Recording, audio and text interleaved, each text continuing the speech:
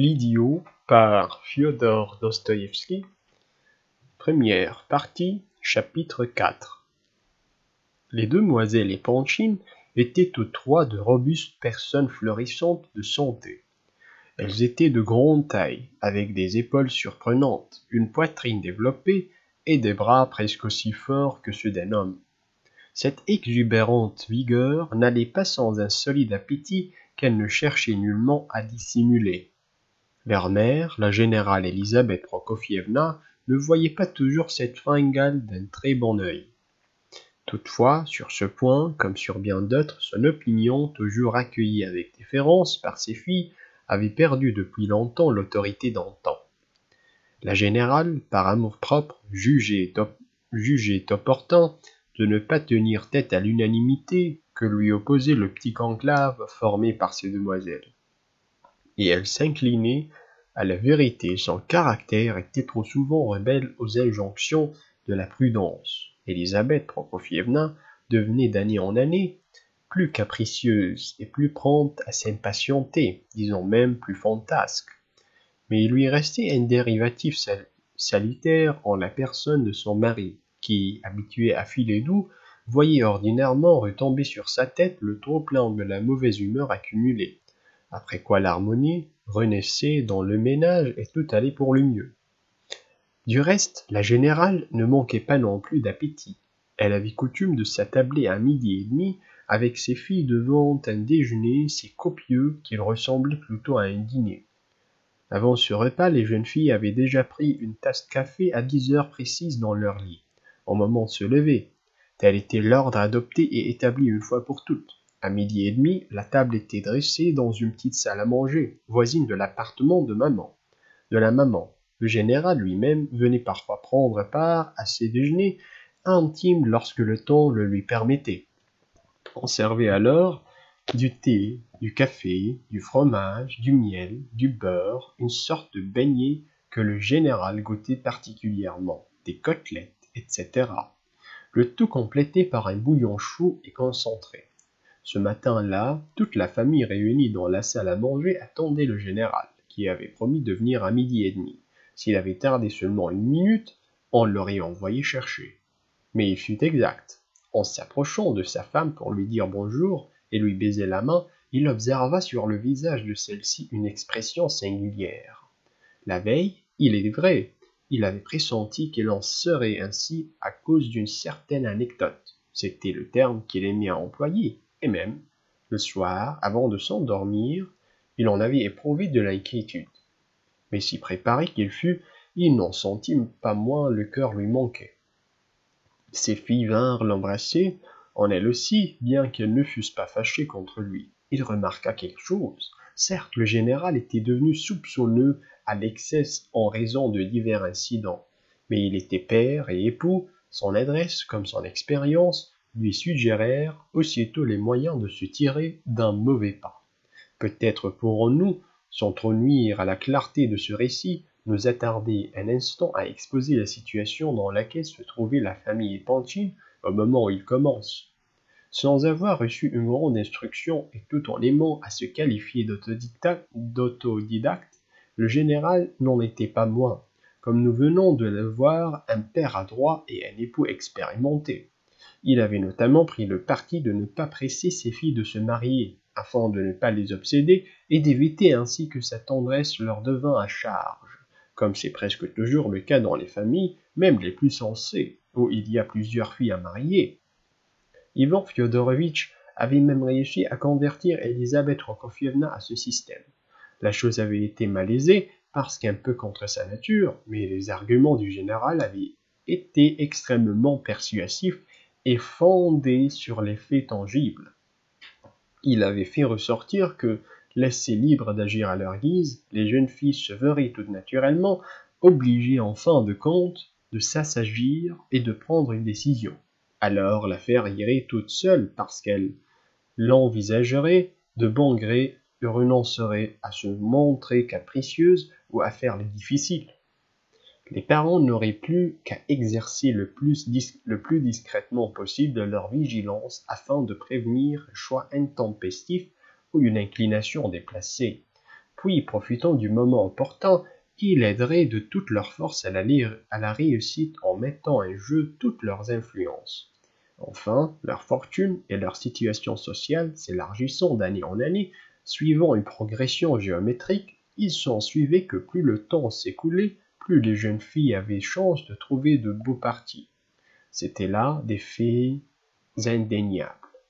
Mais un autre événement survint qui parut, comme c'est toujours le cas, soudain et presque inattendu, la fille aînée Alexandra entra dans sa vingt-cinquième année. Presque vers le même moment, Athanas Ivanovitch Totsky, homme du meilleur monde, disposant d'une immense fortune et des plus hautes relations, se sentit de nouveau attiré vers le mariage.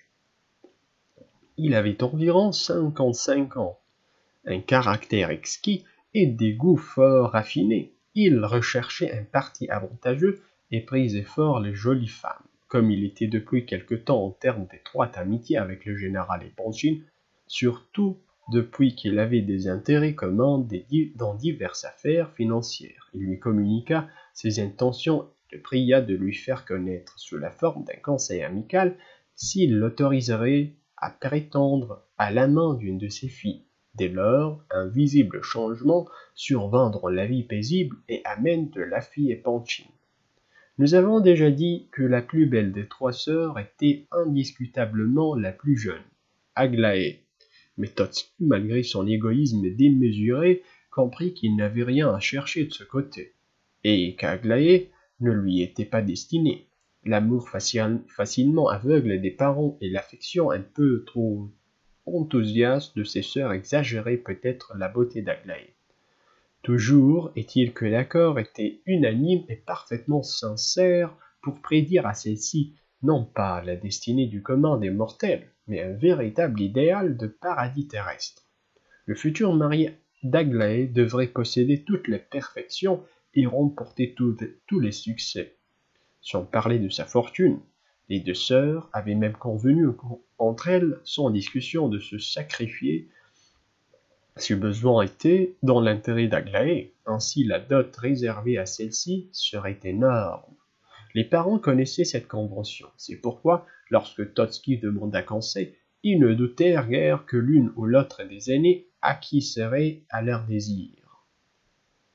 L'autre, par Totsky ne pouvait soulever de difficultés au sujet de la dot. Quant à la valeur de la proposition de ce dernier, le général l'estima des labors très haut, comme on pouvait l'attendre de son expérience de la vie? Au reste, Totsky avait ses raisons pour ne s'avancer qu'avec une extrême circonspection. Ses démarches ne visaient qu'à sonder le terrain. Aussi les parents s'en ouvrirent-ils à leur fille sous une forme vague et hypothétique. Les jeunes filles ne répondirent pas d'une façon plus précise, mais firent du moins connaître en termes rassurants que l'aînée Alexandra ne se montrerait pas rétive. C'était une jeune fille d'un caractère ferme, mais bonne, sensée, extrêmement affable. Elle était disposée à épouser Totsky sans contrainte. Et dès l'instant qu'elle aurait donné sa parole, elle la tiendrait loyalement. Ennemie du faste, non seulement elle n'apporterait ni souci ni perturbation dans les habitudes de son mari, mais encore elle pourrait rendre sa vie douce et paisible. Elle était très bien de sa personne sans être une beauté éblouissante. Totsky pouvait-il désirer mieux? Et pourtant, les, hésitations faisaient traîner l'affaire en longueur. Totsky et le général étaient amicalement convenus d'éviter pour le moment toute démarche formelle et irrévocable. Les parents n'avaient pas abordé la question d'une manière décisive avec leur fille. Un dissentiment se dessinait même entre eux à ce sujet. En sa qualité de mère, la générale Eponchine commençait à manifester du mécontentement, et c'était déjà une grave complication. Une autre circonstance survint qui créa une situation délicate et embarrassante, susceptible de ruiner l'affaire sans rémission. Cette situation délicate et embarrassante, pour employer l'expression de Totsky, se rattachait à un événement qui s'était passé 18 ans auparavant. Athanas Ivanovitch possédait alors au centre de la Russie un magnifique domaine. Il avait pour voisin un très petit propriétaire sans fortune du nom de Philippe Alexandrovitch Parashkov. C'était un homme sur lequel le sort s'était singulièrement acharné. Officier en retraite, il appartenait à une famille de bonne noblesse, plus recommandable même que celle de Totsky. Il était criblé de dettes et son petit bien était grévé d'hypothèques. Il n'en avait pas moins réussi au prix d'un travail de forçat et en cultivant sa terre comme un simple paysan, à remettre ses affaires dans un état satisfaisant. Le moindre succès lui rendait aussitôt courage. Plein d'ardeur et d'espérance, il alla passer quelques jours au chef-lieu du district pour trouver un de ses principaux créanciers et essayer de conclure un arrangement avec lui. Le troisième jour, il vit accourir à cheval l'ancien de son village. Ce paysan, qui avait la joue et la barbe brûlées, venait lui annoncer que la veille son manoir avait été détruit en plein jour par un incendie, que sa femme avait péri dans les flammes, mais que ses petits-enfants étaient sains et saufs. Si meurtri que était Barashkov par les précédents coups du sort, il ne peut résister à celui-ci. Il perdit la raison et succomba un mois plus tard à la fièvre cérébrale. Son bien détruit par l'incendie et ses paysans qui s'étaient dispersés furent vendus pour payer ses dettes. Quant à ses deux petites filles, âgées de six et de sept ans, elles furent généreusement recueillies par Athanas Ivanovitch Totsky, qui prit à sa charge leur entretien et leur éducation. Elles furent élevées avec les enfants de l'intendant d'Athanas Ivanovitch, un ancien fonctionnaire d'origine allemande, qui était à la tête d'une nombreuse famille. Bientôt, l'aînée Nastasie resta seule, sa sœur étant morte de la coqueluche. Totsky, qui vivait à l'étranger, ne tarda pas à les oublier l'une et l'autre. Environ cinq ans plus tard, l'idée lui vint par hasard d'aller visiter son domaine.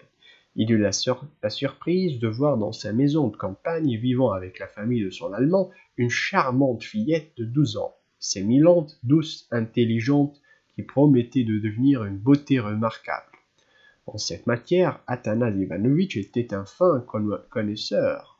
Il ne resta cette fois-là que quelques jours dans ces terres, mais prit le temps d'arrêter les dispositions nouvelles. Un changement considérable survint dans l'éducation de la fillette, qui fut confiée à une gouvernante suisse, femme respectable et d'âge mûr. Cette éducatrice émérite enseigna à l'enfant la langue française et diverses sciences. Elle s'installa dans la maison de campagne et grâce à elle, l'instruction de la petite Nastasie fit de notables progrès. Sa tâche prit fin quatre ans plus tard. Elle partit alors et Nastasie fut réclamée par une dame qui était également propriétaire et voisine d'une des domaines de Totsky. Six dans un gouvernement plus éloigné. Cette dame emmena la jeune fille en vertu d'instructions et de plein pouvoirs que lui avait donné Athanas Ivanovitch. Dans sa propriété s'élevait un chalet récemment construit et aménagé avec goût. Comme par un fait exprès, le village s'appelait Otradnoe. La femme conduisit directement Nastasie dans cette tranquille demeure et comme neuve et comme veuve et sans enfant, elle avait vécu jusqu'alors à une verste de là. Elle s'installait avec la jeune fille, une vieille femme de ménage et une fille soubrette expérimentée furent attachées au, au service de celle-ci. Il y avait dans le chalet des instruments de musique, une bibliothèque de jeunes filles des tableaux, des estampes, des crayons, des, pinceaux et des couleurs, et enfin une fort jolie levrette. Et deux semaines après, Athanas Ivanovitch lui-même y fit son apparition. À partir de ce jour, il sembla s'attacher tout particulièrement à cette petite terre perdue au fond des steppes. Chaque été, il allait y passer quelques mois. Un temps assez lent s'écoula ainsi. Quatre années peut-être de vie tranquille et heureuse, rehaussée de bon goût et d'élégance. Il advint qu'au commencement d'un hiver, environ quatre mois après cette visite annuelle, qu'Athanas Ivanovitch faisait à Otradnoe visite. À cette fois, n'avait duré que quinze jours. Une sorte de rumeur apprit à Anastasie Philippovna qu'il allait se marier à Pétersbourg. La fiancée était, paraît-il, belle, riche et de grande famille. En un mot, c'était un parti solide et brillant. Par la suite, il s'avéra que cette rumeur n'était pas tout à fait exacte.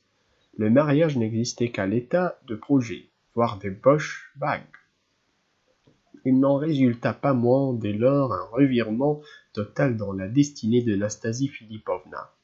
Elle fit tout à coup prévu preuve d'un esprit de décision extraordinaire et révéla un caractère insoupçonné. Sans une hésitation, elle quitta le chalet et fit toute seule une brusque apparition à Saint-Pétersbourg où elle se rendit droit chez Totsky. Celui-ci fut stupéfait et se mit à ergoter. Mais dès les premiers mots, il comprit qu'il lui fallait changer complètement la manière de s'exprimer, le ton de sa voix. Les thèmes aimables et élégants qui avaient jusqu'à là valu tant de succès à sa conversation, et même sa logique, autrement dit, tout absolument tout. Il avait en face de lui une femme tout autre, qui ne ressemblait en rien à celle qu'il avait connue et laissée au mois de juillet dans le village d'Otradenoé. Cette femme nouvelle paraissait tout d'abord savoir et comprendre une foule de choses, à tel point qu'on se demandait avec un profond étonnement où elle avait pu acquérir tant de connaissances et se former des notions aussi précises. Était-il possible que ce fût en consultant les livres de sa bibliothèque de jeune fille Mieux encore, elle raisonnait sur bien des points comme un homme de loi, et elle avait une connaissance positive, sinon du monde, du moins de la façon dont certaines affaires s'y traitent. En second lieu, son caractère s'était radicalement modifié. Il n'y avait plus rien de cette timidité de pensionnaire qui s'alliait naguère à une insaisissable et parfois charmante vivacité. Plus rien de cette candeur, tantôt triste et rêveuse, tantôt étonnée et défiante, qui était allée jusqu'à se traduire par l'angoisse et les larmes. Non, ce que Totsky avait maintenant devant lui, c'était un être extraordinaire et inattendu qui riait aux éclats et l'accablait des sarcasmes les plus mordants. Elle lui déclara en face qu'elle n'avait jamais eu dans le cœur d'autres sentiments à son égard que le plus profond mépris et un dégoût poussé jusqu'à la nausée. Il en avait été ainsi dès le premier mouvement de surprise passée. Cette femme nouvelle ajouta qu'il lui était au fond parfaitement égal qu'il se mariât sur le champ et avec qui il voulait mais elle était venue pour l'empêcher de faire ce mariage, et cela par méchanceté, uniquement parce que telle était sa fantaisie. Il serait donc obligé d'en passer par où là, par où elle voulait.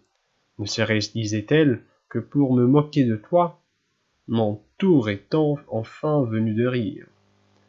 C'est du moins ainsi qu'elle s'exprimait. Peut-être se traduisit-elle pas tout le fond de sa pensée. Mais en écoutant cette nouvelle Nastasie Philippovna rire aux éclats et le nargueur, et le narguer, Athanas Ivanovitch méditait sur l'aventure et essayait de mettre de l'ordre dans ses idées en déroute. Cette méditation se prolongea assez longtemps. Il lui fallut près de deux semaines pour analyser la situation, et ce n'est qu'au bout de ce temps qu'il prit une résolution définitive. Le fait est qu'Athanas Ivanovitch alors âgé de près de cinquante ans, était un homme posé et avait une situation solidement assise. Son crédit dans le monde et dans la société reposait depuis très longtemps sur les bases les plus fermes. Il n'aimait et n'estimait rien au monde autant que sa personne, sa tranquillité et son confort, ainsi qu'il convient à un homme dont la vie est parfaitement ordonnée.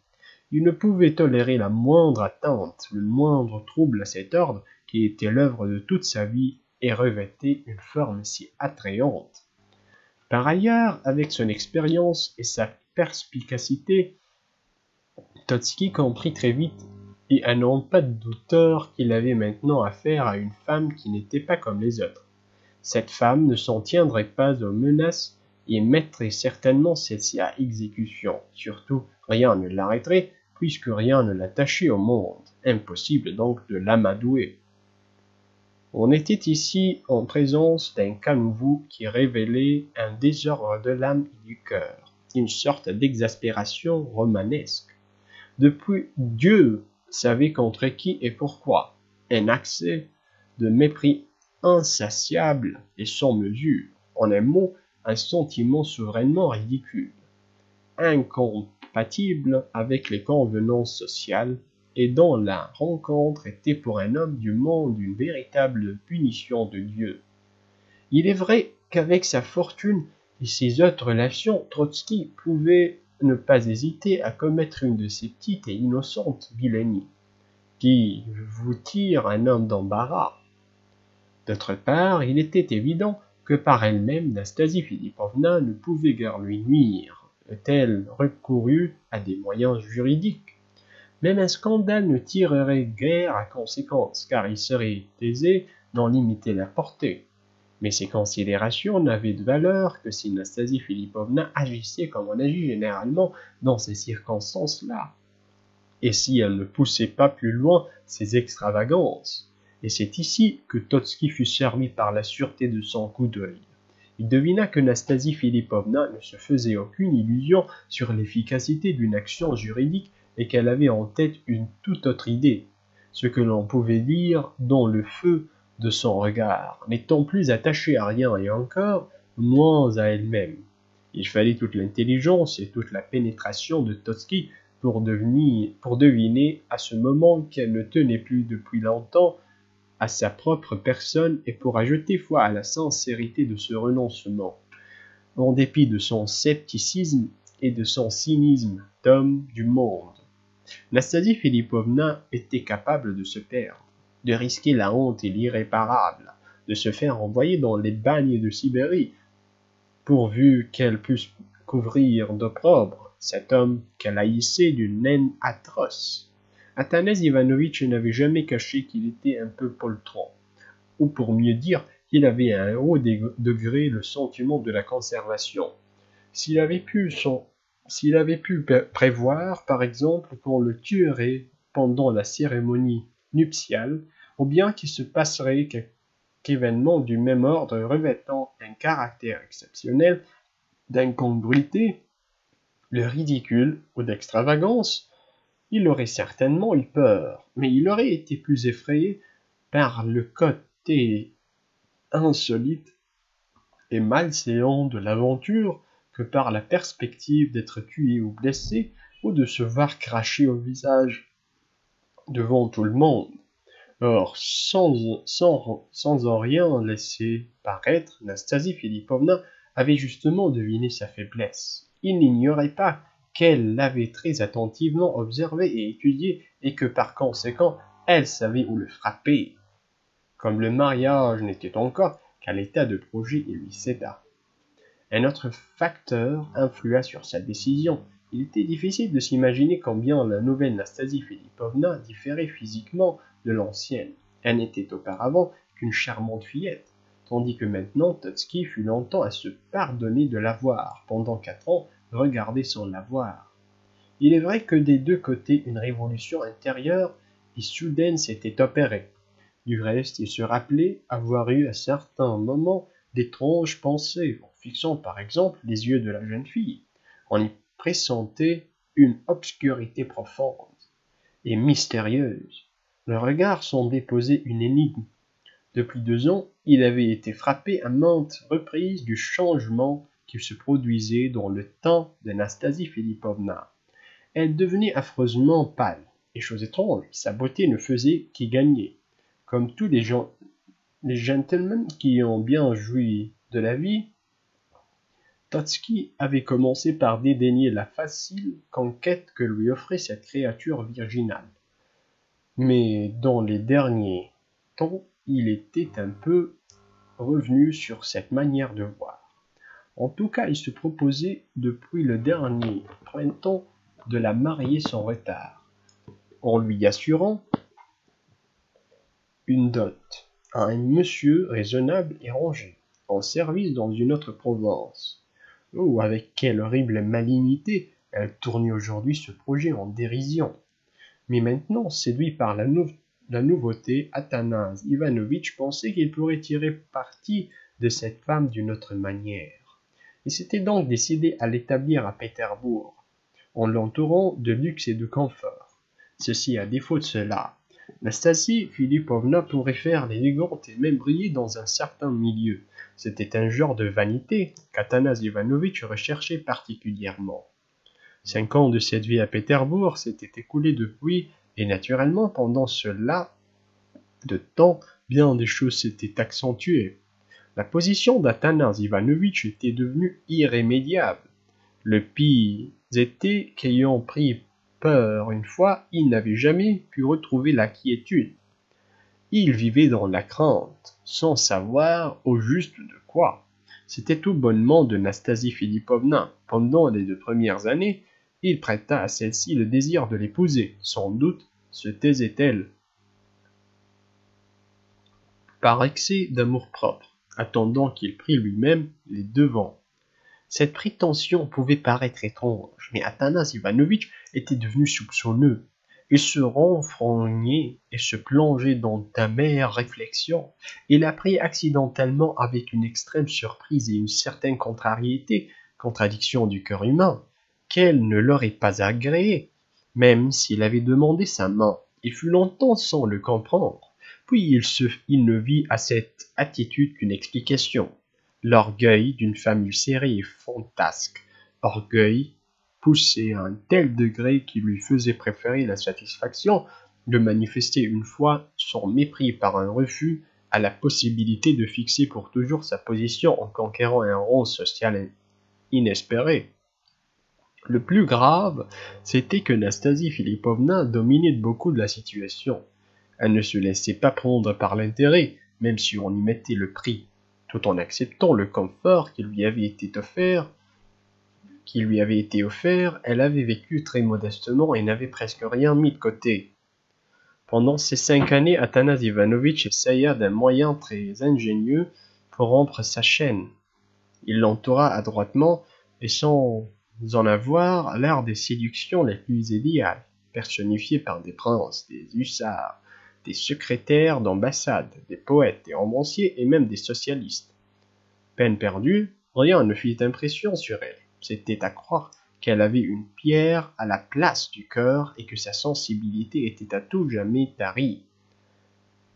Elle menait une vie retirée, lisant, étudiant, même et cultivant la musique. Ses relations se réduisaient à quelques pauvres ridicules femmes de fonctionnaires, à deux actrices et à quelques vieilles dames.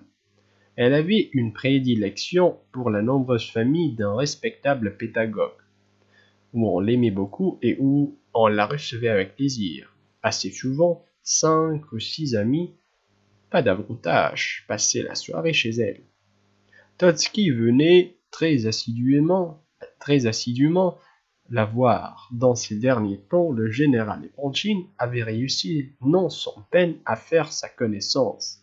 Par contre, elle avait dans son l'ombre vu une difficulté consentie à recevoir un jeune fonctionnaire nommé Ferdischenko, qui était un drôle sans avoir vivre ni tenue, porté à la bouffonnerie et à l'ivresse. Parmi ses familiers figurait également un étrange jeune homme du nom de Tisting.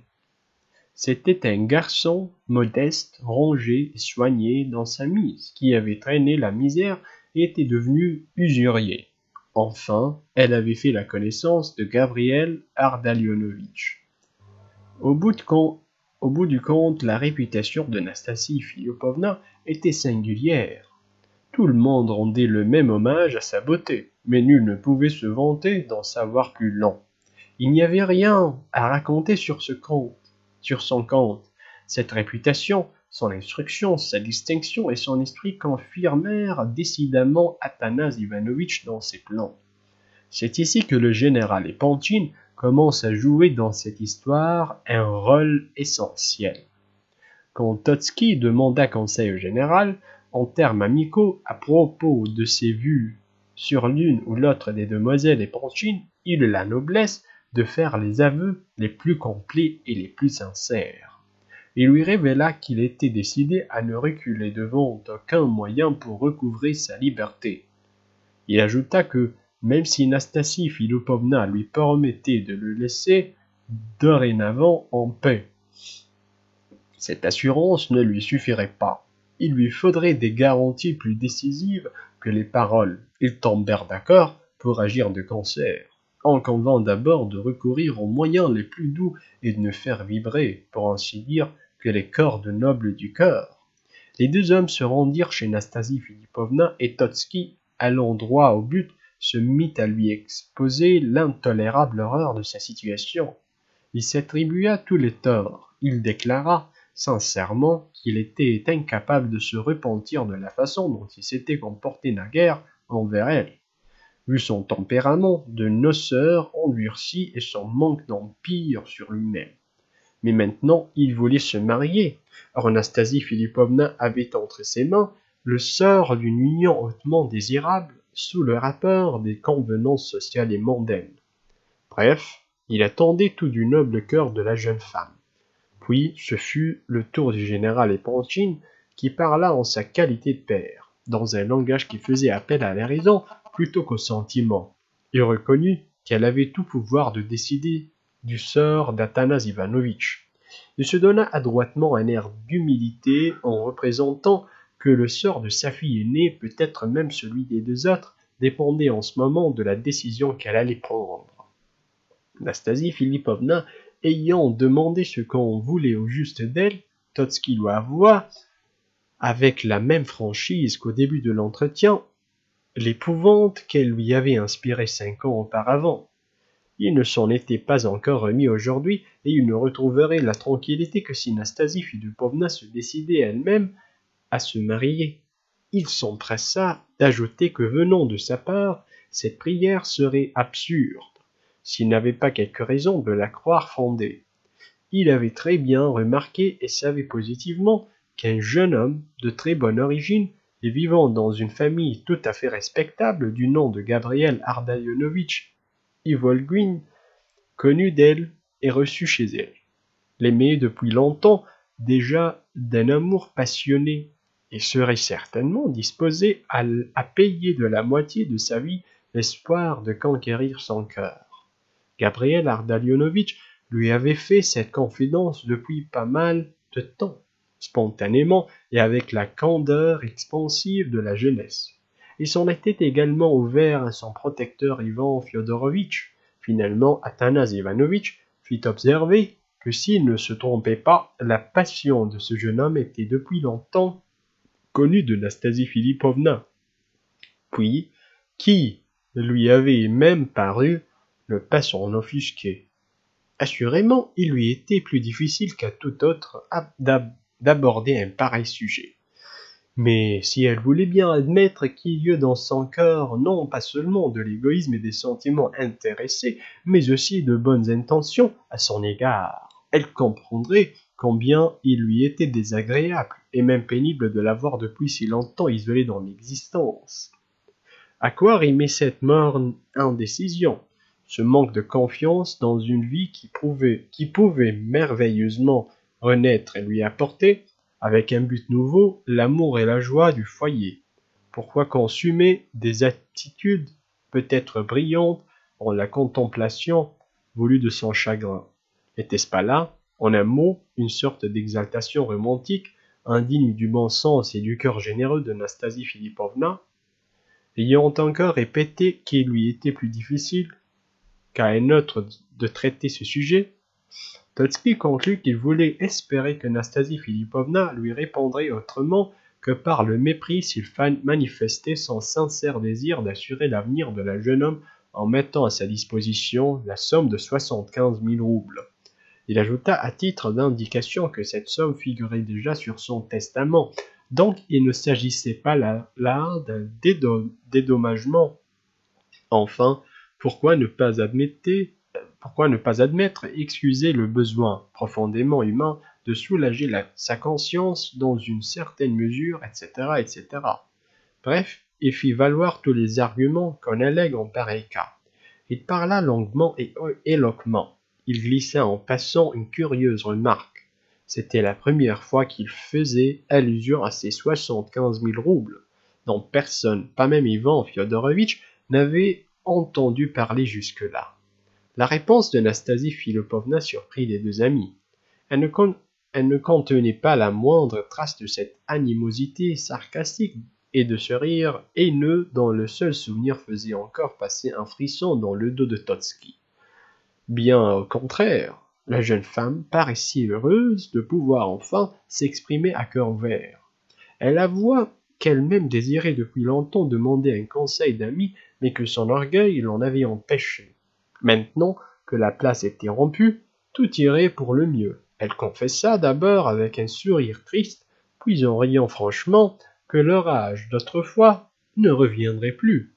Depuis longtemps, elle avait partiellement changé sa façon de voir les choses. Son cœur ne s'était pas modifié, mais elle n'en avait pas moins senti la nécessité de se mettre en face des faits accomplis.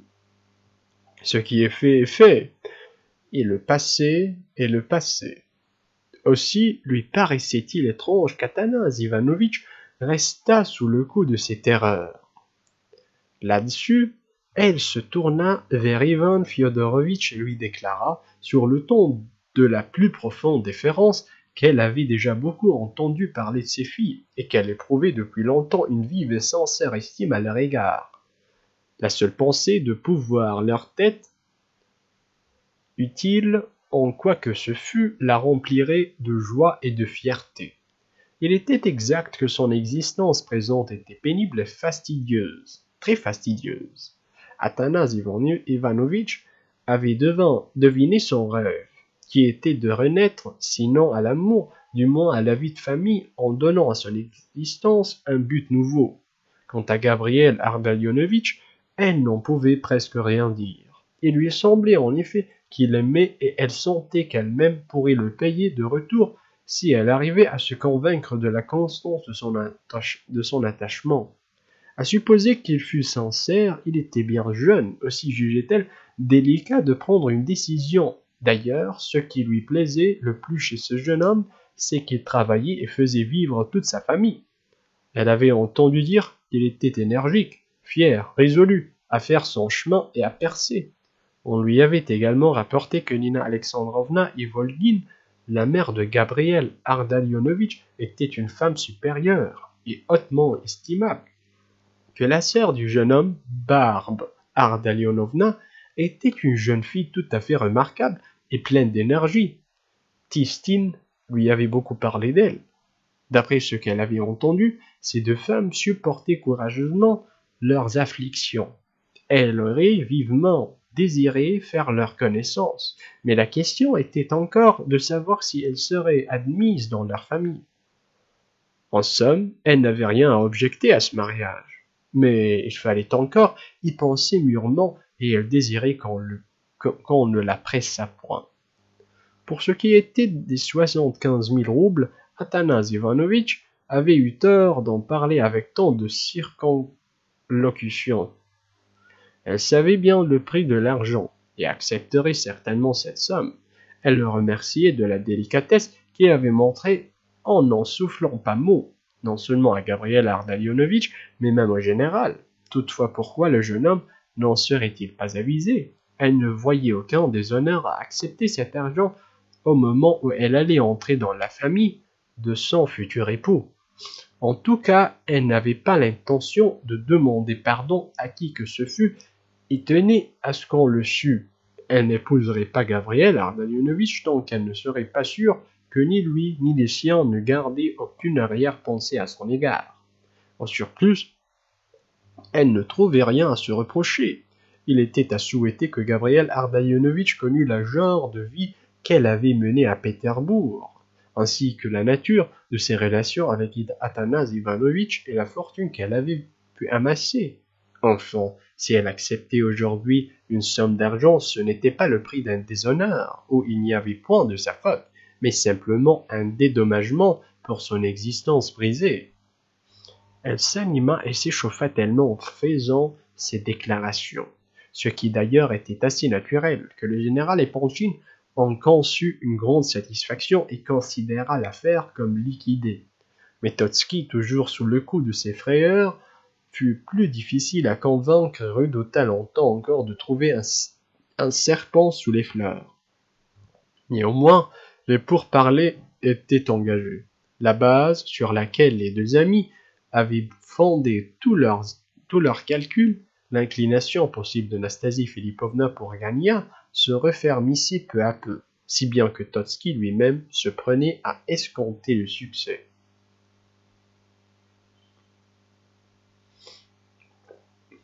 Sur ces entrefaites, Nastasie Filipovna eut une explication avec Gagna. Peu de paroles furent échangées. On eût dit que la pudeur de la jeune femme souffrait de cet entretien. Toutefois, elle admit et autorisa l'amour de Gagna, sans vouloir s'engager elle-même et en se réservant le droit de dire non jusqu'au mariage, si mariage il y avait, quitte à n'user de ce droit qu'au dernier moment. La même faculté était laissée à Gagna. Ce dernier ne tarda pas à apprendre par un obligeant hasard que Nastasie Filipovna connaissait dans tous ses détails la version de sa famille pour ce mariage et pour elle-même. Il s'attendait chaque jour à la voir aborder ce sujet, mais elle n'en fit rien. D'ailleurs, bien d'autres traits pourraient être rapportés au sujet des histoires et occurrences qui vinrent au jour pendant ces pourparlers matrimoniaux. Mais nous avons déjà fait une digression suffisante. Et en outre bien des assertions qui circulaient ne reposaient que sur des vagues rumeurs. Par exemple, Totsky apprit en doux que Nastasie Filipovna avait noué des relations secrètes et mal définies avec les demoiselles épanchines. Ce bruit était dénué de toute espèce de vraisemblance. Un autre raconté, un autre s'imposa à sa crédulité et lui donna le cauchemar. Nastasie Filipovna assurait tant était convaincu que Gagna ne voulait se marier que pour l'argent et qu'il avait une âme noire, cupide, intolérante, envieuse et démesurément égoïste. On précisait qu'il avait naguère passionnément désiré conquérir la jeune femme, mais que du jour où les deux amis avaient résolu d'exploiter sa passion, au moment où elle commençait à être payée de retour, et de l'acheter lui-même en lui donnant Anastasie comme épouse légitime, il avait pris celle-ci en grippe. La passion et la haine s'associaient étrangement dans son cœur. Si après de poignantes hésitations, il avait fini par accepter d'épouser cette vilaine femme. Ça avait été en se jurant à lui-même de se venger cruellement sur elle et de lui faire payer, comme il disait, sa propre humiliation. On prétendait que Nastasie Filipovna savait tout cela et préparait secrètement sa riposte. Ces racontards avaient jeté une telle frayeur dans l'âme de Totsky qu'il n'osait même plus faire part de ses inquiétudes au général Epanchin. À certains moments, cependant, comme tous les gens faibles, il reprenait courage et se ranimait brusquement. C'est ainsi qu'il s'était montré plein de confiance lorsque Nastasie Filipovna avait fini par promettre aux deux amis qu'elle prononcerait le mot décisif le soir de son anniversaire. En revanche, le bruit le plus étrange et le plus invraisemblable, celui qui mettait en cause d'honorable Ivan Fyodorovitch, lui-même trouvait, hélas, chaque jour une confirmation plus complète. À première vue, on pouvait croire à un simple ragot. Il était difficile d'admettre que le général, avec son intelligence supérieure, sa solide expérience et ses autres qualités, se fût, se fût épris de Nastasie Filipovna au soir d'une existence respectable. Or, les choses étaient à ce point que son caprice tournait à la passion.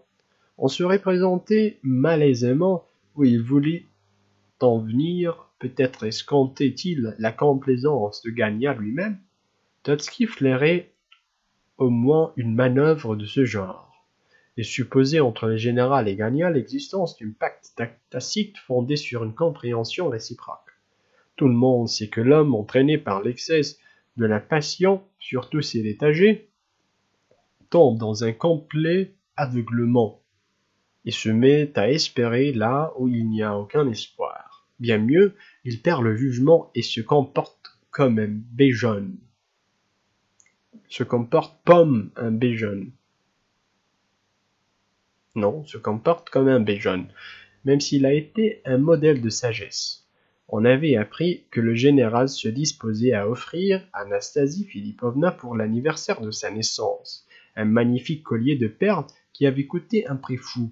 Il attachait beaucoup d'importance à à ce cadeau, tout en connaissant le désintéressement de la jeune femme. La veille de l'anniversaire, il vivait dans une sorte de fièvre, bien qu'il mit son adresse à donner le champ rouge. La générale Eponchine avait justement entendu parler, elle aussi, de ce collier de perles. À vrai dire, elle était depuis longtemps familiarisée avec les mœurs l'âge de son mari et s'y était même plus ou moins résignée. Mais il lui était impossible de fermer les yeux sur ce nouvel écart. L'histoire des perles l'avait trop vivement ému. Le général s'en aperçut à temps. Certaines paroles prononcées la veille lui firent pressentir l'explication capitale qu'il redoutait. Voilà pourquoi il n'avait nulle envie de déjeuner au sein de sa famille le matin du jour où commence notre récit. Avant même l'arrivée du prince, il avait décidé de prétexter les affaires et de s'éclipser.